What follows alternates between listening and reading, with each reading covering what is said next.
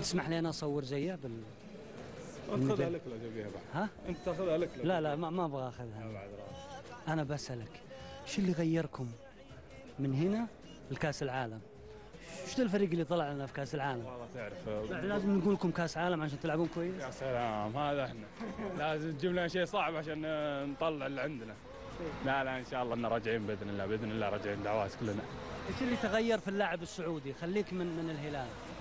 يلعب اليوم قدام السعودي. إيش عنده إمكانيات من أول. إيه. ما مو بشيء جديد على اللاعب السعودي. اللي طلعها؟ تطلع إيه، تشوف إنت كأس العالم اللي لعبناه مع المنتخبات حق منتخبات كأس العالم الانديه فالمباريات الكبيرة يظهر فيها اللاعب السعودي ويظهر فيها نادي الهلال. لو قلت لك السنة الجاية إحنا نفكر تجيب البطولة وش ينقص الهلال؟ إن شاء الله ما ينقص إلا الحظ إن شاء الله.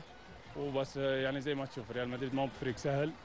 وانت جاري كذا في مباراة زي هذه نهائي. يعني ال- الكره السعودية تشرف الصراحه الحمد لله إن اللي سويناه ده يعني فخر للعرب الحمد لله. لاعب مرهق؟ أكيد إنه مرهق. ثلاث مباريات في غصون 10 أيام أكيد إنه في إرهاق وذا. بس إنه يعني الحمد لله قدمنا اللي علينا وسوينا كل شيء الحمد لله. أنا ما باخذها بس لمين هي؟ الوالده إن شاء الله. مبروكين. حبيبي مبروك لنا جميع مبروك للوطن. آه مبروك لقيادتنا. آه خادم الحرس الشريف الملك سلمان وسيدي ولي العهد الأمير محمد بن سلمان. على الدعم اللامحدود للشباب الرياضي رياضة الوطن. مبروك الامير عبد العزيز بن تركي الله يعطيه العافية اشكر على استقباله.